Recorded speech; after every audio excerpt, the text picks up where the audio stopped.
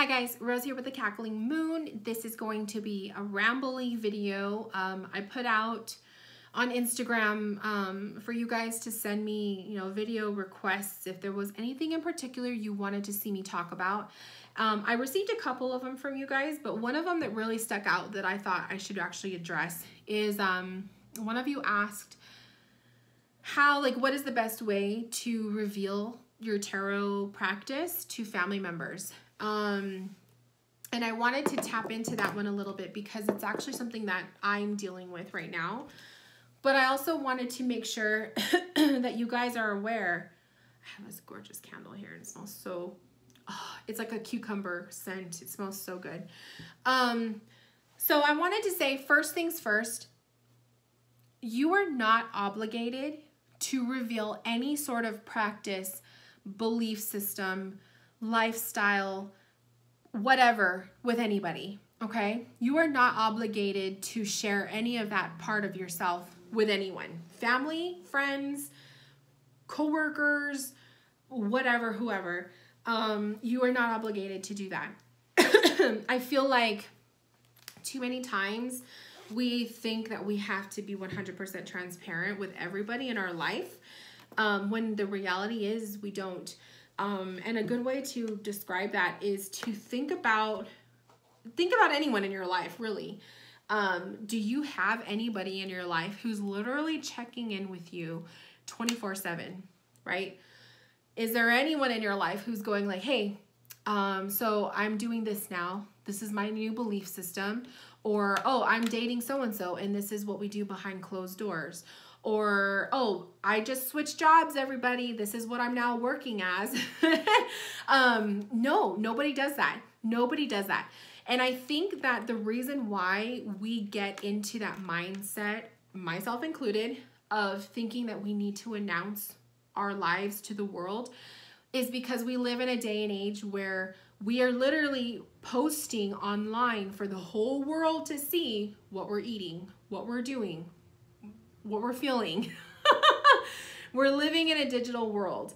We are living in a world where it's like the thing to post where you're at, to tag yourself, who you're with. What are you eating today? Take that Instagram worthy photo of your food, you know? It, it's just that is part of the norm these days to tell everybody what we're doing.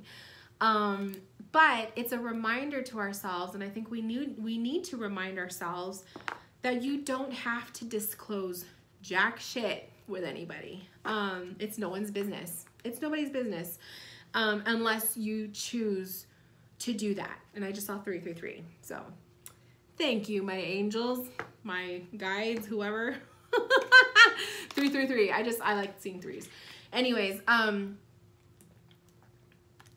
so that said, I just wanted to make sure I made that clear and, and explain that because I don't want anyone watching this video thinking that you have to, you know, that you have to do this. You have to disclose what you're doing because you don't, okay? You absolutely do not. Um, so a little backstory for me. Um, I have some people in my in my world, in my world, both personal both work life and both family that know what I do. And then I have a nice chunk that don't in work life, family life, and like my social friendship circles. So I have some people who do and some who don't. Um, the way the way I disclosed it, like the way I figured I who I could talk to and who I can't, um, is based on the conversations that I have with those people there's certain people that I come into contact with that I just know all, right off the bat. okay, that's somebody I can't talk to about certain things because it will kind of violate their little comfort bubble that they have or they're too close-minded for it or their belief system is completely different from mine or it's just not appropriate talk for work. You know what I mean? So it could be a lot of different factors there's a lot of different reasons why I don't disclose what I do because of those reasons. There's multiple reasons. It's not because I'm afraid or it's not because I'm like shy. It's just sometimes it's not appropriate. or sometimes that person won't understand. And it's not my responsibility to make somebody understand. That they need to do that on their own. so, um, you know, there's different reasons why some people in my life don't know. Um, so the people that I did tell or did open up to, um, I would have to say, like, when I told my husband, he was obviously the main one in my life that I told. Um, he knew I was into things that were starting to become more heavily involved. Like, he knew I was into astrology and all of that, right? Just like my parents, they all know I love astrology. But I started to dabble more into like the tarot cards and dabbling into this and that and my subject matters and the books I was reading started to change. And he was he was seeing it. But we did have the talk, you know. So I did share with him, "Hey, this is what I've been doing. I'm, I think I'm going to learn how to read the cards, blah blah blah." And when we first like when he first came into the know of it, his main thing was don't conjure demons. Which I think is basically everybody's superficial approach to tarot cards is the first thing that they think is it's demonic or you're going to conjure demons or you're like doing satanist things. It's just uh, that's just like the closed-minded way of looking at it. Um and so he had that approach. And i remember what i ended up doing was by my practice evolving and by me becoming more knowledgeable and more comfortable with what I was doing, it helped him to become more comfortable with what I was doing. Okay. So I think that's a big tip for you guys. Those of you who feel like you're ready to start sharing what you do, make sure you are already 100% comfortable with what you're doing. Because if you're trying to share something with someone who maybe that's not anything that they're interested in or anything that they understand, and you are coming into it not knowing what the fuck you're doing, they're gonna be looking at you like, uh, what are you doing? so make sure you're comfortable with what you're doing and that you that you believe in what you do. You know what I mean? Because if you don't believe in what you're doing or you're already having doubts and you're and you're just looking for validation that what you're doing is right, you're not going to get it from somebody who doesn't know what the fuck it is, okay? So just make sure that you are comfortable in your path, in your journey, in your belief system before you start to open the gates and allowing, you know, other people in the know of what you do. It'll help tremendously because when I first read for my husband, I didn't know what the fuck I was doing. I didn't know how to read the cards. I had never taken a class or anything. I was literally just pulling a card and reading from the guidebook. and the first card that he pulled was the death card. So you could believe, you, could just imagine how that went with him. he was not happy. So just make sure you guys are comfortable and you know what the fuck you're doing before you start to mention it and invite other people in, okay? Um, so that's probably a big tip for that. The second thing is, like I said, gauging the people you want to talk to about it. Um, if you know right off the bat so and so is not the person to, to share your path with, don't do it. Unless, of course, you are completely comfortable with that awkward that awkwardness or you're comfortable with being like blasted with 21 questions about yourself you know what i mean some people are cool with it some people don't care and then some people are like oh my god i, I couldn't even deal with that i'm one of those people i can't deal with that so to me, it's like if I already have a sense, my intuition, my spidey senses are telling me that person's closed-minded. They're not going to want to. They're not going to know. They're not going to understand. It's taboo to them. I wouldn't even bother because I'm not going to put myself in that uncomfortable situation with them. so gauging who is worthy of you opening up and who isn't. Okay, that's another tip. Um, so when it comes to sharing what you do with people, do it subtly, you know? So when I was working and I first came out to my coworkers, um, I had already been having conversations with my coworkers. And um, at that particular workplace, this isn't the one I work at right now. At that particular workplace, me and those coworkers would spend a lot of time. We would like share everything about each other. so, you know, we kind of got really deep with one another. Um, and I and they noticed like so what they did was I would always be wearing like a crystal, right? And they started to notice those things. So they would ask questions about it. And simply by them asking me and then them being interested in the topic showed me, boom, I could talk to them about this stuff. So when I revealed the cards to them, they were so open about it. And it was really easy to be more of myself. So I would say start planting little seeds with the people you feel that you've already gauged are going to be more open-minded about it and more understanding about it. Um, start planting little breadcrumbs for them. So start wearing your little crystal jewelry or have your deck in your purse. Or maybe it's poking out like maybe you, have it sitting on your kitchen kitchen counter when you invite guests over. Or um, or you have like a card out as a bookmark. That's a big conversation starter if you have like a book. I don't have one with me. But if you have a book and you have the the tarot card peeking out of the book and then someone sees it and they ask you a question about it that's happened to me at work before. Um, so that like li planting little breadcrumbs to get people to be curious and ask you. But I would not plant those breadcrumbs with the people that you would absolutely be horrified if they found out.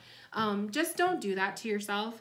Um, for me, I've been I've been planting little breadcrumbs here and there with certain family members and certain friends um, little by little, like when I see them, I'll be wearing a crystal necklace or sometimes I have crystal, you know, rings on or whatever. I'll be doing that. Um, one time I full blown wore my Pisces shirt around my mom. and, you know, she just kind of, she saw it, but she didn't say anything. Um, but to me, it's like I'm putting that out there. Like, yes, I'm still interested in the astrology, or yeah, I'm into this stuff so that it's like it's not shocking if they found out, you know? Um so you could start doing that too. But I would say I would I would just say always just keep it in the back of your mind that you do not have to be 100% open book to everybody, okay? You can have secrets. You are entitled to your secrets. You are entitled to your privacy. Um so as much as I would want my parents to question me about certain things, I also honor the fact that they would really not like it, what I do, and they wouldn't understand it. And I just keep it simple with them. I keep it simple with them, you know. I, the, they know the astrology stuff. Of, they know that I'm into that. They know I'm into the crystals. They know all of that. Like they're not completely like oblivious to myself. They knew I worked at a crystal shop, all of that stuff but they just don't know every detail and I, I, I, am pretty comfortable with it staying that way um, because I have my own life, you know, and I live in my own place. And so it's just the way it is. And, and same thing with my friends. I have friends that um, I've been friends with for many years who don't know jack shit that I do this stuff. and they would probably like, think I was the weirdest person ever. Um, and they're friends that I only see maybe once a year, maybe not even once a year, um, but we still stay in contact on my other Instagram. And so to me, it's just like, I don't feel the need to share that piece of my life with them because they're not a part of my everyday, you know? My husband is a part of my everyday. Um, my coworkers are a part of my everyday. And so it's very important for me to be able to be more free with my coworkers and my husband than like with my parents whom I don't see every day. But when I was living with them, that's a different story. Um, and I chose to keep everything on the hush hush because I was respecting their house.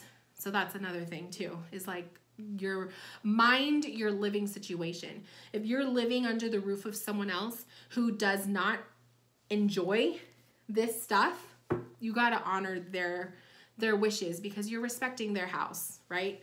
So um, that was one reason why, even though, yeah, I saw my parents every day at one point, I kept everything locked down because I was respecting their house. Um, but I don't see my parents every day. I see them maybe once a week, twice a week if I'm like, you know, stopping by to visit. Um, and same thing like with my sister. I don't see her. I see her maybe once a year, if that because she lives far away. so to me, it's just like, I don't need to be 100% open with those people, but people I do see every day, like my coworkers, they see me wearing my crystals. They've seen my decks out. Some of them even follow me on Instagram. So it's just like I feel so much more better when I can be myself around those people because I'm not constantly hiding, you know? So I can understand why some of you guys who may be watching this video, you're just tired of hiding. You're tired of hiding yourself to everybody you have to really understand that if you open yourself up to people, whether it's one person or everybody, you got to be willing to take any and all feedback. You don't have to take it as like the truth. You know what I mean? Like, you, what I'm saying is that you don't have to listen to it, but you have to be willing, you have to be aware that people are going to give you their feedback, whether you like it or not, if you choose to open yourself up and be vulnerable in that sense. Okay. Now, people who are downright rude, like if they if you have like online trolls and they're telling you bullshit, block them. Don't even give them the time of day. But you can't just block i wish we could but but you can't block somebody who's like face to face with you giving you a piece of their mind you know? So just be very mindful and aware of you know who you are talking to and how they may react and if you are willing to put yourself through that or not. Um and so i think that it's just important for me to to to explain that because i think that sometimes um we think we're doing ourselves a favor by being 100% open with everybody, but you also open a can of worms too. So it's kind of like it has its advantages and then its disadvantages, and it's kind of like which one is more more worth it to you. So let's pull a card on that because I pretty much said everything I needed to say. oh, okay, no, actually, before we pull the card, my last tip is make new friends. Make new friends. If you have a family and a social circle of old friends that you have since like high school and everybody is just closed-minded closed-minded people um make new friends that's like another thing a piece of advice uh, join the communities online okay facebook has them Instagram, we're on there. I'm on there. um, or even like in your local crystal shops, the metaphysical shops, join a class. Go to a class. You're going to meet people who are into the same stuff.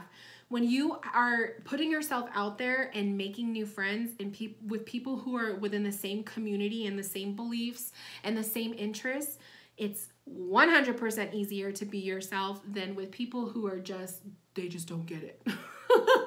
so sometimes you just need to move on. Sometimes you just need to put down your barriers, you know, okay, this friend I can't be 100% with, but I still love them, you know, but make new friends. Make new friends so you can be 100% and feel safe, you know? And that's one of the things I did. I have a lot of new friends on social media that I talk to on the daily um, that I feel like if I need to talk to them about something spiritual related, they're gonna get it versus like one of my other friends who they only know like one half of me and they wouldn't get it if I was telling them, oh, I think I have a new spirit guide contacting me. They're gonna be like, bitch, what the fuck is wrong with you? like, they're not gonna get it. So make new friends. Open yourself up to a whole new social circle. It'll help you so much. Um, so that's the final tip I have. So let's pull a card. Whoa. Let's pull some cards. And okay, I had, actually I'm just gonna keep shuffling because that was like four cards that fell out. Sorry guys, let me get my cards. Okay.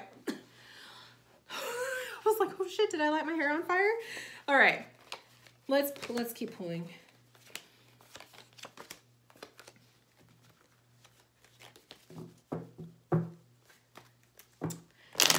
Because what would a tarot ramble be without pulling a tarot card? My room smells so good. I lit incense. Um, and it smells amazing. Oh, oh my God, these cards. I'm gonna pull three cards. So the one that just fell out. Ooh. Okay. So, ow. Okay. So we have strength, seven of cups, eight of swords. Now, this is telling me some of you guys who are watching, who are watching this right now, are one, going to feel empowered by the message I just revealed. Okay? You're going to be having watched this video and you're to, it's going to click for some of you. Okay? You're going to be watching it and you're going to think, oh shit, I don't have to be 100% with everybody and it's okay. so some of you needed to hear that. Okay?